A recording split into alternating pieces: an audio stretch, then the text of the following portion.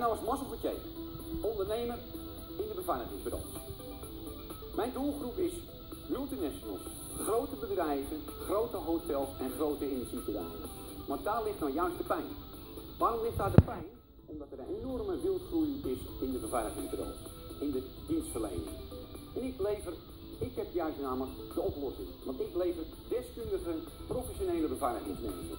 De man op de juiste plaats. Want dat is mijn vakgebied. Ben register beveiligingsexpert en daarom lever ik een goede dienstverlening. Je kan op mij rekenen, Marcel Vertier. Bel me als je mij nodig hebt.